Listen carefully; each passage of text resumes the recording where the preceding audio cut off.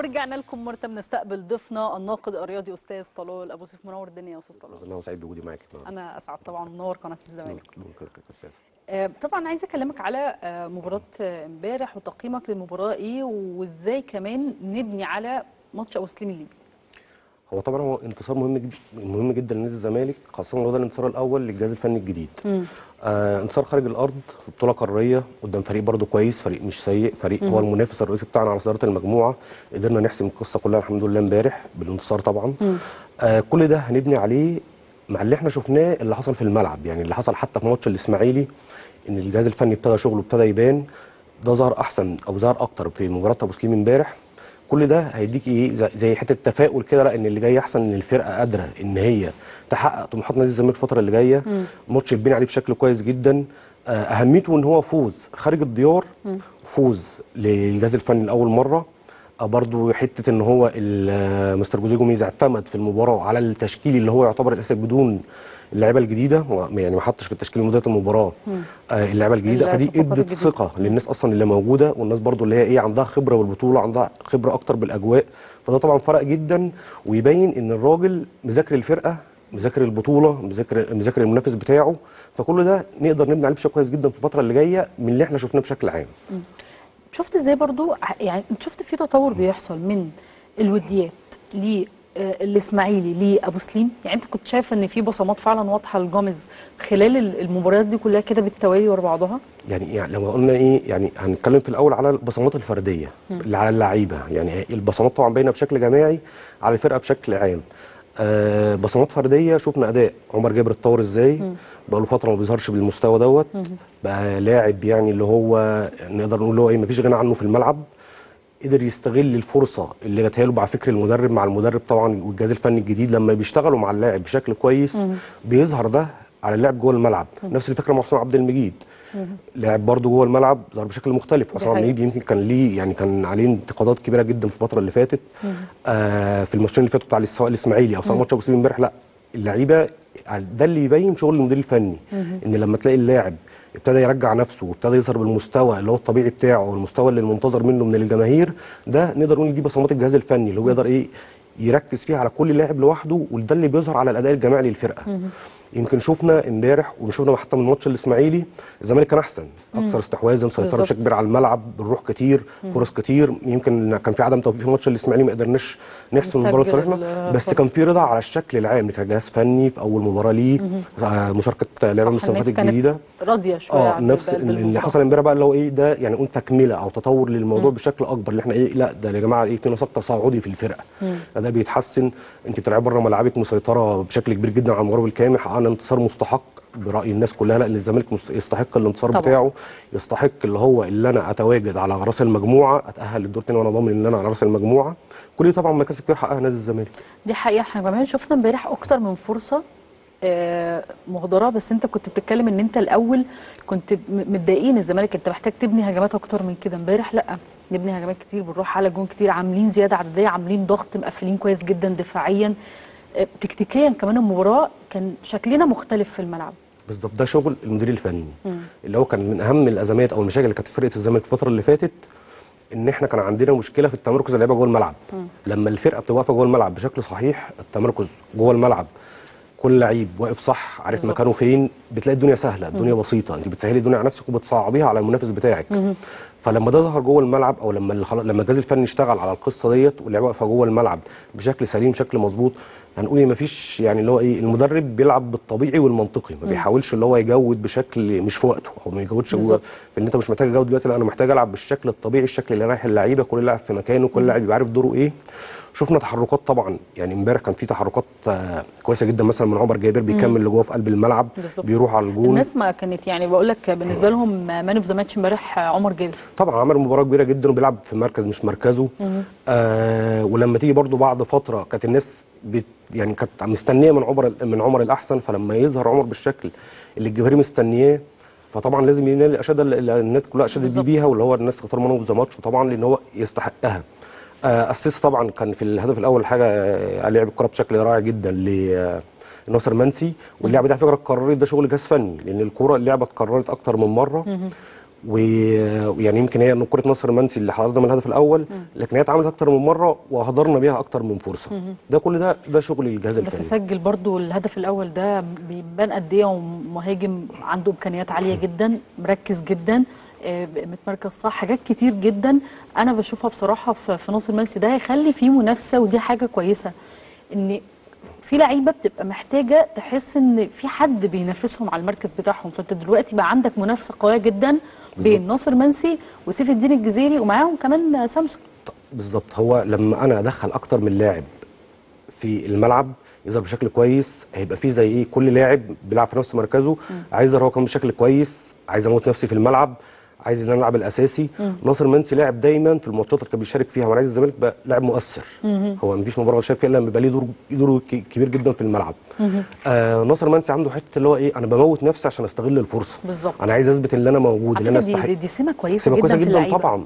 اللي في لعيبة للأسف ما بتستغلش الفرصة. ما تعرفش قيمة اللي أنا موجود في نادي كبير زي نادي الزمالك اللي أنا لازم أموت نفسي في كل مباراة عشان خاطر أظهر بالشكل اللي أنا أثبت بيه اللي أنا أستحق اللي أنا أبقى موجود في المكانة دي.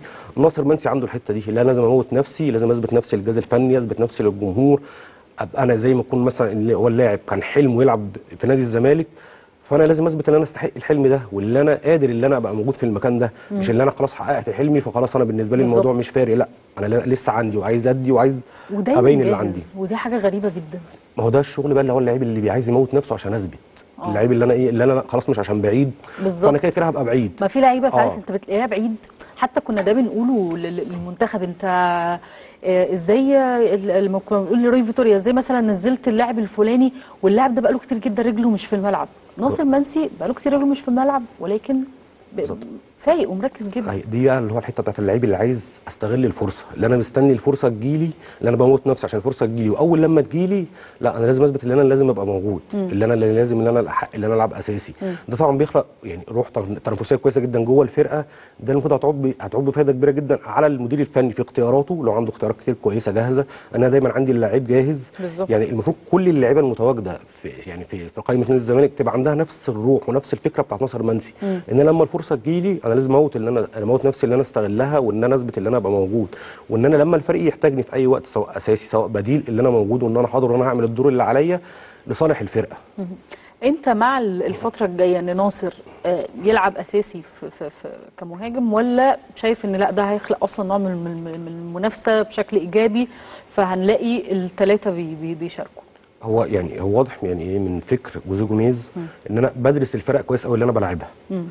يعني طبعا مع خلق المنافسة القوية ما بين اللعيبة هو لما يدرس الفرق اللي هو اللي هو هيلاعبها وهو عنده اللعيبة جاهزة فممكن تلاقي اللي هو بيعمل روتيشن كتير جدا في بعض المراكز يدي لكل لعيب. ده مثلا ماتش على حسب الفرقة اللي هو هيلاعبها. فيه لعيب مثلا لو هنتكلم عن خط خط الهجوم أو المهاجم الرئيسي في الفرقة في لاعب مثلا إيه هبقى محتاج مثلا مهاجم محطة مهاجم مثلا اللي هو آه، جوه ال 18 يقدر يخلص لي الدنيا.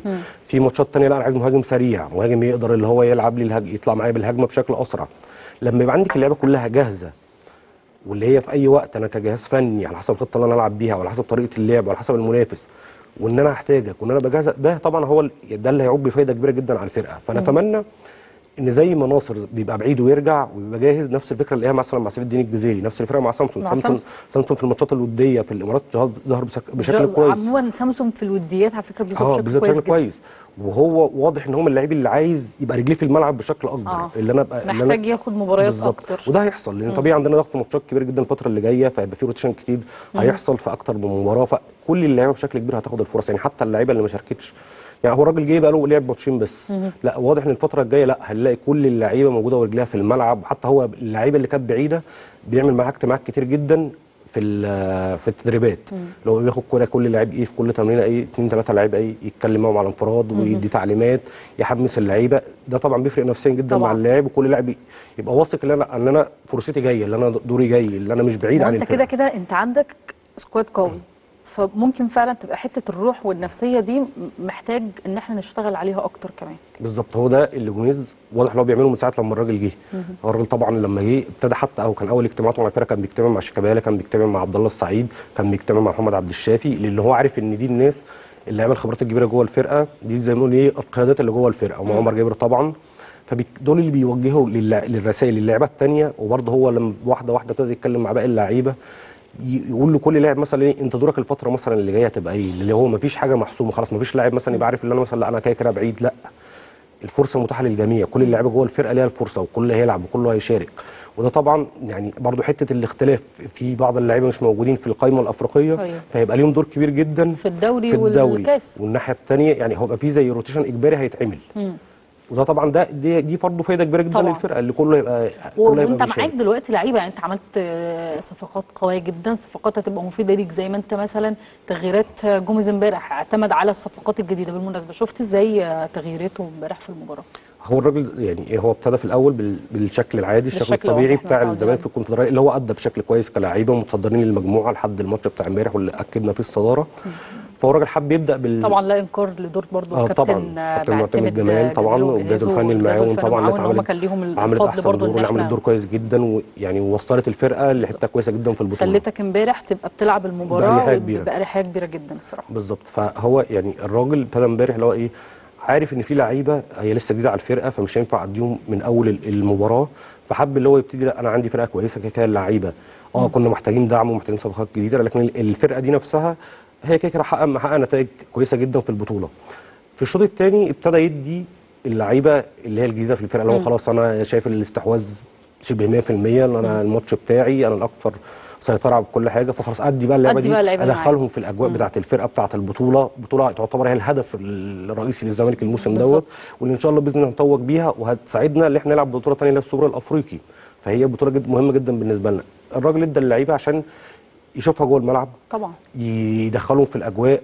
ظهروا بشكل كويس جدا. أحمد حمدي ومتيابة وياسر حمد. وياسر حمد. كلهم ظهروا بشكل كويس جدا. لعيبة نزلت واقفة على رجليها. مفيش حد راهب الموقف. بالظبط. وعلى فكرة دي ميزة كبيرة جدا. وده حاجة غريبة. انت انت دفعت بثلاث لعيبة مرة واحدة والثلاث لعيبة جداد مرة واحدة والثلاث لعيبة ادوا بشكل كويس جدا ومفيش فعلا أي رهبة ومفيش مفيش أي خوف خالص من أي حاجة. بالظبط هو ده بقى لما اللعيب يبقى خلاص هو دخل الفرقة الأجواء اللعيبة القديمة بتكسب اللعيبة الجديدة بتحاول تدخلها معاها بسرعة في الأجواء. طلعوا في نادي الزمالك لازم نظهر بشكل أحسن حاجة. كل اللعيبة موجودة خلاص معانا في الفرقة فكلنا خلاص واحد. فاللاعب اللي بينزل بتلاقي دعم مع اللاعب مثلا إيه القديم؟ بتلاقي مثلا اللعيبة اللي بره على الدكة بتحمس لاعب وانت يلا اعمل اللي عليك. بالظبط. آه هتكسر الدنيا النهارده. كل الكلام ده بيفرق جدا مع اللعيبة. كنا محتاجين إحنا كمان الروح دي الصراحة. بالظبط كنا محتاجينها لأن يعني نقول كانت بعد فترة صعبة شوية على الفرقة النتائج ما كانتش أحسن حاجة. لما الموضوع واحدة واحدة مجلس إدارة جديد بيلبي كل طلبات طلبات الفرقة صفقات كويسة جدا اتعملت. في الميركاتو الشتوي طبعا كل ده بنتكلم آه، في في 10 صفقات بالظبط طبعا رقم يعني. وف- وفي الحاجة اللي الزمالك محتاجها. أنا ما بعملش صفقة وخلاص أو بدور على الصفقة مثلا الناس الجماهيريه فكرت إن إحنا اعتمدنا على ال على ال على الكم ولكن هي الكيف أصلا يا جماعة إن أنت كل اللعيبة دي أنت محتاجها واديكوا شفتوا في في بالظبط. المباريات أنا يعني. جبت اللعيبة اللي أنا محتاج. كان في شغل يعني كان في شغل اتعمل شغل اللي هو إيه؟ شغل احترافي. اللي أنا بشوف أنا محتاج إيه؟ بالظبط. وهشتغل عليه أجيبه. ومدي مثلا اللي أنا مثلا إيه عندي مثلا أكتر كذا اقتراح في كل مركز. لا وعملت عملية إحلال وتجديد. بالظبط. وده كان مهم طبعا. وفي توقيت اللي أنت تعملي ده في صفقات شتوية أو في موسم التلات شتوي ده بيبقى صعب جدا. بالظبط. فطبعا ده اللي حصل ده يعني نجاح كبير جدا لمجلس الإدارة. الجماهير ما كانتش متوقعة اللي ده اللي ده هيحصل. يعني الناس كانت بتطمع إن أنا مثلا إيه أجيب ثلاثة أجيب ثلاث ثلاث أربع لعيبة. بالكتير قوي يعمل. يسندوا آه، معايا لعب- للنهاية. فلما تجيبي 10 لعيبة كلهم لعيبة أسماء كويسة. قادرة إن هي تلعب في نادي الزمالك وفعلا الفرقة محتاجاها فطبعا ده نجاح كبير وده اللي إحنا بنشوفه مع تحسن الأداء اللي حصل في غير الفترة إن هي. معظمها طبعا صفقات كانت جماهير نادي الزمالك بتنادي بيها وطبعا. بتتمناها آه طلال استاذنك هنطلع فاصل قصير وبعدها نرجع ونكمل كلامنا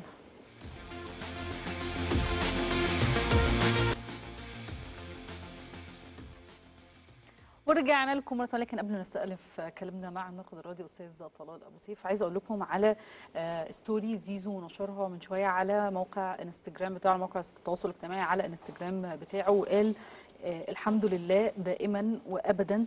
فكرة إن الواحد يبقى سليم بس حاجة في حد ذاتها نعمة عظيمة. الحمد لله آه، على آه، فضل آه، فضل الله وكرمه. وشكرا آه، جمهور الزمالك العظيم اللي مش حاجة غريبة عليه. من دعم وسؤال على لعيبته والحمد لله وأشوفكم الماتش الجاي. ألف سلامة عليك يا زيزو. آه، واحد طبعا من أهم اللعيبة الموجودين آه، في الزمالك وفي مصر عموما. آه، وجوده طبعا إضافة كبيرة جدا للنادي وإضافة كبيرة جدا طبعا لل- للفريق وكلكم طبعا عارفين حاجة زي كده. كل الناس امبارح بتتساءل على على زيزو. إيه إصابة زيزو. زيزو نفسه هو يا جماعة بيطمنا إنه إن شاء الله يا رب إن شاء الله تبقى بسيطه تعالج بسرعة جدا وإن شاء الله يكون موجود الماتش اللي جاي. طبعا إحنا محتاجينك يا زيزو وإن شاء الله ترجع لنا بألف سلامة وترجع لنا كمان أحسن من الأول بإذن الله. آه، كلامك آه، يا طلال وعايزه أتكلم من امبارح عموما على آه، إصابة زيزو. قد إيه زيزو من اللعيبة اللي فارقة مع مع الفريق بشكل كبير جدا مش بس على المستوى المهاري على فكرة. زيزو بيشكل طمأنينة للجماهير وللجهاز الفني لوجوده كمان في أرض الملعب. هو زيزو يعني راح من حتة اللي أنا لاعب نجم موجود جوه الفرقة لواحد من اللي هم إيه اللي راح في حتة اللي هي الأساطير اللي هيبقوا واحد من أساطير نادي الزمالك. فبعيد عن ادائه جوه الملعب اللي هو طبعا كواحد من أهم اللعيبة اللي موجودة في مصر بشكل عام موجودة في في نادي الزمالك هو وجوده بيدي طمأنينة كبيرة جدا للجمهور. يعني حتة الإصابة اللي هو اتعرض لها امبارح خروجه ما بين الشوطين طبعا حملت حالة من الخوف طبعا كبيرة جدا خاصة إن الزمالك عنده ماتشات مهمة مهمة جدا الفترة اللي جاية أما طبعا ماتش نهائي كأس مصر طبعا. فالناس بقى شغلها الشاغل هو إيه الدنيا الناس عايزة تطمن. دك- دكتور محمد اسامه خرج طمن الناس بعد الماتش. يا جماعة ان الموضوع بسيط. الموضوع إن شاء الله زيزو كويس وهي يعني هيحتاج التواء في آه التواء في الكاحل. بس بسيط وإن شاء الله هيبقى موجود في ال في ال في مباراة نهائي الكاس بشكل طبيعي. زيزو كمان النهارده بيطمنا بشكل أكبر اللي أنا أشوفكم الماتش الجاي. الحمد لله هو بنسبة كبيرة اطمن بشكل أكبر إن الموضوع بسيط وهيبقى موجود معانا لأن وجوده يعني من أهم يعني لا غنى عنه. لا غنى عنه بالظبط. يعني لا يعني غنى عنه ما بالنسبة للفرقة وبالنسبة للجمهور بيدي ثقة كبيرة جدا. بالظبط زي ما قلت لك هو بيفرق. معاكي نفسيا كمان جوه المباريات حتى مع لما تلعب لما يبقى الخصم اللي قدامك عارف ان زيزو موجود في الملعب غير وزيزو مش موجود في الملعب. فالحمد لله برافو عليك. دي نقطة برضو إن الخصم بيبقى عارف إن زيزو معاك.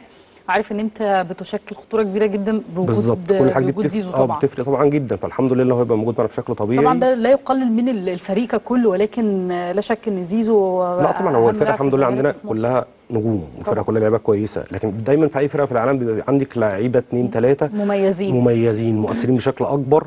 فدي حاجة طبعا واحد زيزو من واحد من اللعيبة دول. دي حقيقة. آه شفت امبارح كمان في المباراة عمر جابر؟ لعب في مركز غير مركزه. آه مش مش عايزة أكلمك إن الجماهير مبسوطة منه وإن عمر ادى أداء كويس. أنت كناقد آه، رياضي وكحد برضو ليه رؤية فنية شفت إن هو أجاد بنسبة كام في المية في المركز؟ والله يعني هو هو يعني هو عمر يعني مش مفاجأة مش مفاجأة بالنسبة لي أنا أو مش مفاجأة لناس كتير إن هو بيأدي دايما في الأوقات الصعبة. عمر لعيب من اللعيبة الرجالة اللي هي بتاعت الأوقات الصعبة بتلاقيه بيعمل كل حاجة ممكن أي حد ممكن مثلا المدير الفني بيستناها منه.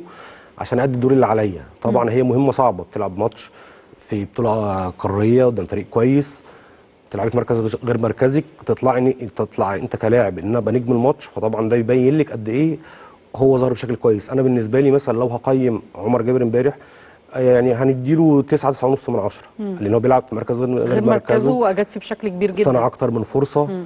تحركاته في الملعب كويسة جدا. التغطية بتاعته كويسة جدا. فطبعا عمر ده اللي إحنا مستنيين منه على ما طول. حسسكش كمان بالغيابات اللي موجودة طبعا ربنا يرجع فتوح وعبد الشافي ونضاي بالسلامة. ما حسسكش كمان إن أنت عندك نواقص أو عندك غيابات ثلاثة في نفس في نفس المركز؟ بالظبط. هو يعني لما اللعيب اللي بتديله اللي هو الإيه الثقة اللي هو يديلك في مركز غير مركزه ويظهر لك بالشكل ده ما بيحسسكش بالغياب.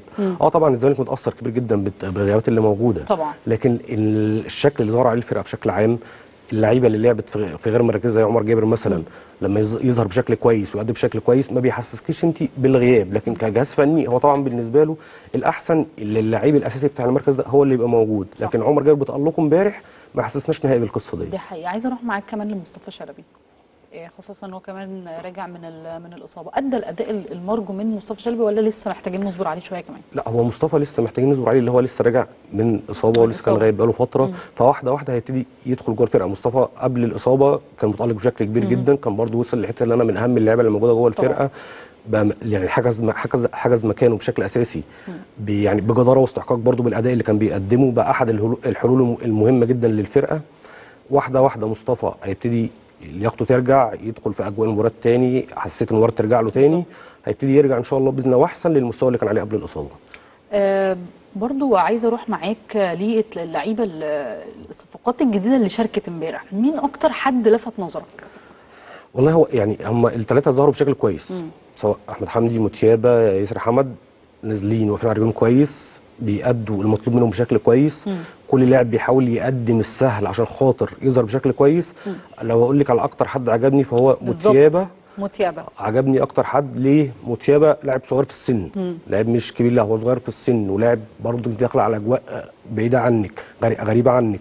بتلعبي في نادي الزمالك اسم كبير جدا في القارة الأفريقية. فاللاعب لما يجي لك واقف على الكرة صح بيتحرك بشكل كويس. يمكن كان لما لعب في لعب في ماتش ال- الشباب. كانت برضه الناس كانت مستنية ان هو يظهر أحسن من كده فهو امبارح لا ظهر بشكل أفضل تحس إن هو ابتدى يدخل فعلا في الأجواء. أحمد حمدي عنده ميزة كبيرة جدا برضه عشان ما يعني ما ننكرش حقه اللاعب لما بيستلم الكورة دايما طريق لقدام ودي ميزة كويسة جدا في لعب في لعب نص الملعب لأن لما دايما أقدر ابنيك الهجمة بشكل بشكل أسرع بشكل سريع دايما رايح في اتجاه المنافس. ما برجعش مثلا بالكورة ما بلفش حوالين نفسي وببقى مش عارف أعمل إيه لا. هو بياخد الكورة شايف الملعب بشكل كويس جدا قاري اللعيبة كل واحد فين؟ بيطلع الكوره من رجله صح؟ أيوه.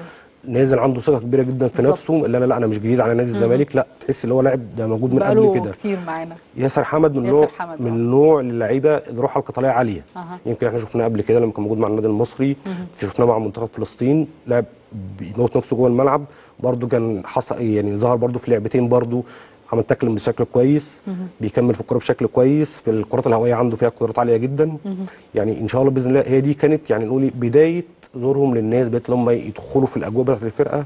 في الفترة اللي جاية هنشوفهم بشكل أكبر. طبعا هو الراجل واحدة واحدة بيدخل الناس. فكرة إن أنت امبارح كنت بتلعب مباراة آه، رسمية لأن أنا بشوف الرسمي غير الودي. فكرة إنك أنت امبارح كنت بتلعب بأريحية وبتلعب في مباراة رسمية برضو إدت أريحية كبيرة جدا جدا لجوميز إن هو يقدر يدفع بثلاث لعيبة من الصفقات الجديدة مرة واحدة؟ طبيعي هو الراجل شايف الفرقة مسيطرة على الملعب بشكل كبير جدا متقدمين 2-0 آه إحنا الأقرب حتى يعني إحنا متقدمين 2-0 وإحنا الأقرب اللي إحنا نهدف تاني. اللاعب بتلعب بأريحية كبيرة الفرقة شكلها جوه الملعب كويس جدا التمركز كل لاعب واقف صح جوه الملعب. آه فهو طبعا لا ما هو ده أنا لما مش هدي اللاعب الفرصة في وقت زي ده هديله إمتى؟ بالظبط. فهو ده كان طبعا أحسن وقت اللي هو يدي اللعيبة ويدخلها جوه الأجواء. هو الراجل طبعا اتكلم شوية بعديها اللي أنا بعد المباراة في حتة إن أنا إن هو شايف إن هو كان مخطئ إلى حد ما فكرة إن هو يدفع بأربع تغييرات مرة. واحدة وإن ده كان غلط وإن ده بالظبط إن هو حس. ان التراجع إن في حصل فيه تراجع إلى حد ما. الفريق استقبل هدف هو هدف طبعا غير صحيح. لا ده لسه هنروح لقصة الهدف دي لسه. آه فهو الراجل اتكلم ليه هو حس يعني هو ده برضو مدير فني ذكي مدير فني بتاع تحمل مسؤولية. هو ممكن يقول أنا كسبت خلاص وان حققنا آه، مكسب. خارج الديار مع فرقة كويسة. آه فرقة هي المنافس بتاعي على على صداره المجموعة وأنا كسبتها في ملعبها. فخلاص آه، طبيعي جدا بيحصل تراجع في الأداء لما الفرقة بتبقى كسبانة ده طبيعي جدا في الكورة. لكن الراجل حب يتكلم لا يا جماعة اللي هو إيه ده ما كانش المفروض يحصل. اللي لا الأداء بتاعي اللي أنا ببتدي بيه هو لازم اللي أنا أنهي بيه. فهو الراجل اتكلم بشكل منطقي جدا إن أنا آه في تغييرات حصلت اللعيبة لسه بتدخل في. الأجواء فاللي هو إيه يعني هنع- هنعدي قصة التراجع اللي حصل عشان خاطر اللعيبة دي أول مرة كانت تشارك مباراه رسميه مع نادي الزمالك. دي حقيقة. وأنا انبسطت جدا من شخصيته إن هو معترف بالخطأ. معترف الخطأ يقدر يعالجه. بالظبط. وهو حتى هو ما كانش مجبر إن هو يتكلم فيها. انت راجل كسبان بالظبط. ضمن صداره صدار صدارة المجموعة. فأنا مش مجبر إن أنا أتكلم على أخطاء ومشاكل حصلت آه بعد المباراة. كنت ممكن أتكلم على المكسب وإحنا الحمد لله كسبنا. بالظبط. الكلام الطبيعي اللي ممكن يتقال لكن هو الراجل لا اتكلم في كل حاجة. اتكلم في اللعيبة اشاد باللعيبة. حتى هو لما اتكلم على وجهة نظري اللي أنا لا أنا اللي هتحمل الت- التراجع اللي حصل ده بالظبط. عشان ما حدش يهاجم أي حد من اللعيبة اللي شاركت. هم كلهم ظهروا بمستوى كويس. بس طبعا ممكن يحصل انتقادات ممكن يحصل لا اللي الزمالك مثلا كان أفضل وال... قبل التغييرات فهو الراجل لا قال يا جماعة أنا هتحمل المسؤوليه. التغييرات دي حصلت كان لازم تحصل عشان اللعيبة تدخل في أجواء الفرقة. تبتدي تندمج. في مباراة خلاص كنا شبه خلاص محسومه بالنسبة لنا. فطبعا هو القرار بتاعه قرار صح جدا. باللي هو ده بالدفع اللعيبه في التوقيت دوت. وده إن شاء الله أنسب وقت آه فعلا. أنسب وقت. وده هيفيد الفرقة في المباريات اللي جاية لأن إحنا عندنا كذا مباراة على كذا بعض. أنت عندك الداخلية وبعد كده عندك الكاس بالظبط. فكل اللعيبة لازم تبقى جاهزة وكل اللعيبة متواجده وكل اللعيبه لازم تبقى رجلها في الملعب. نروح بقى لحكم المباراة. ونروح للهدف اللي احرزه ابو سليم الليبي اللي أنا ما شفتوش أصلا الهدف تخطى ال- ال- المرمى. هو الهدف ما تخ- ما تخطاش المرمى نهائي. يعني الكرة بعيدة جدا. حمد الرايه نفسه أصلا واقف غلط. هو مش واقف على الخط المرمى عشان يقدر يشوف بشكل كويس. لا ده هو كان واقف أصلا متقدم بشكل كبير جدا. فهو مستحيل يشوفها. يعني حكم المباراة. هو كان اللي اقرب للعبة وما حسبش حاجة ما وما شاورش. وقال كملوا لعب عادي. آه، لما. آه لما الراجل اتحرك لما حامل الرايه اتحرك فخلاص هو لازم في في ال- في اللعب اللي في الألعاب اللي بتبقى زي ديت هو لازم حامل الرايه هو اللي بيحسمها فلما رأى الراجل رفع الرايه وراح بيجري على نص الملعب فالراجل صفر جون مع إنه أنا متأكد إن الحكم نفسه ما شافهاش شايفها مش جون يعني هو شايفها بس هو خلاص هو القانوني اللي حصل اللي حامل الرايه عمله إزاي هو إزاي حسبها هدف والله إحنا دايما في يعني في في في قارة ده غير إن أفريقيا أنت كان ليك ركلة جزاء الجزاء بتاعت. شيكابالا اللي هي. كانت باينة جدا يعني والحكم شايفها كويس جدا. فيا جماعة اللي هو لا كده كتير يعني كده. كتير ان إحنا بيحصل معانا في نادي الزمالك يمكن في بطولات كنا بنخرج منها بسبب أخطاء زي دي. والكاف كمان يعني الموسم اللي فات على فكرة كان برضه بسبب أخطاء آه، بسبب تحكيمية. أخطاء تحكيمية برضه. أكتر من ضربه جزاء ما تتحسبش. آه، هدف أصلا بتتحسب فينا. آه، تتحسب عادي. فلا هو المفروض الكاف لحد إمتى هنفضل بالشكل ده؟ لا يا جماعة المفروض اللي إحنا كنا بنشيد بالحكام في بطولة أفريقيا فالمفروض تكمل بنفس الطريقة. ما ينفعش اللي أنا في ماتشات في بطولة قارية أجيب حكم حامل راية هو مش شايف لعبة فيجري يحسبها جون لو لو افترضنا مثلا إن المباراة دي مباراه مصيرية فرقة هتخرج من البطولة.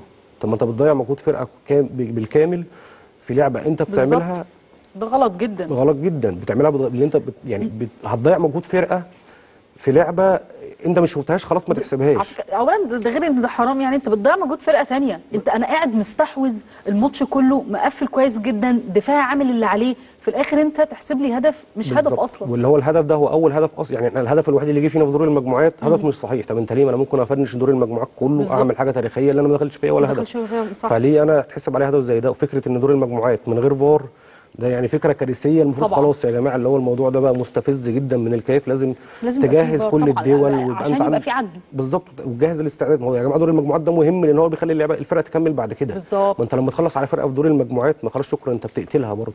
مش فكرة اللي أنا لأ في أصل لما أطلع في أدوار إقصائية هبتدي أعمل أعمل يبقى في فار بقى و... تمام من الأول يا جماعة لازم يبقى ما لازم ممكن ما. اصعدش بسبب اللي أنت بتعمله؟ يعني إحنا كنادي الزمالك إحنا كنا بنتظلم في ماتشين ثلاثة أربعة خلاص ما أنت بتخلص عليا. بدل لو خدت حقي هبقى موجود كل موسم في الأدوار الاقصائيه سواء في دوري أبطال سواء في كونفدرالية. بالظبط. ف وده طبعا للفرقة كلها. العدل الحمد لما لله إن إحنا قدرنا امبارح آه آه، الحمد نكسب لله. ونتصدر آه الحمد لله لأن التحكيم الأفريقي ممكن يخلص علينا في أي وقت. حقيقة. هروح معاك دلوقتي يا طلال لسؤال حلقتنا النهارده على مواقع التواصل الاجتماعي وكان سؤالنا النهارده إيه هي مكاسب الزمالك من الفوز على مسلم الليبي في الكونفدرالية؟ لمياء حسن مساء الفل عليك يا جماعة بشكرك جدا يا لمياء. مكاسب الزمالك من الفوز على بوسليمه هي تصدر المجموعة عودة الروح والثقة والانسجام التام بين اللاعبين. ظهور الصفقات الجديده ومشاركتهم اربعه اللعب الجماعي وتطور اداء الفريق كل التوفيق للزمالك فيما هو قادم تحياتي ليكي يا مها والقناه الزمالك بشكرك. حمودة آه، سامر الحمد لله ومبروك علينا الصدارة واللي على القادم أفضل الزمالك عامل مباراة جميلة تحياتي ليك والزمالك وكل فريق العمل بشكرك جدا يا حمودة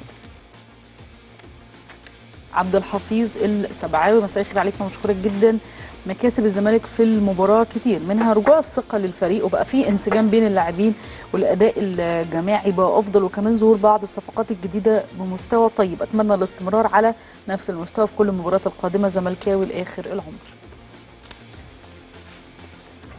عبد الله صبري هيكل مساء الفل عليك يا مع الأستاذ طلال. أبو سيف بنشكرك جدا. مع كل مكسب طبعا الفريق بياخد الثقة وطبعا مع مشاركة الصفقات الجديدة اللي بدأت تحط رجليها في الملعب والمكسب آه، طبعا هو تصدر المجموعة. قبل الجولة الأخيرة اللي هتكون فرصة كبيرة للصفقات الجديدة إنها تاخد وقت أكتر وإن شاء الله وأكيد طبعا المكسب بيجيب مكسب وبالتوفيق في القادم لنادينا الملكي العظيم. بشكر حضراتكم دائما وابدا على التواصل معنا. واستاذ طلال كنت منورني النهارده وكنت سعيدة جدا بوجودك أنا معايا. اسعد والله والحمد لله. ودايما نتقابل في انتصارات إن شاء الله نادي الزمالك بإذن يا الله. رب إن شاء الله. النهارده نحتفل الله بانتصار الله بنات طايرة الله. الزمالك. إن شاء الله الله. بإذنك يا رب النهارده. أتمنى إن أنتوا تحرزوا الكاس. بشكر حضراتكم دائما وابدا على آه، المتابعة. كده تكون خلصت حلقتنا. أشوفكم بكرة على خير يا رب إن شاء الله في حلقة جديدة من برنامج أخبارنا.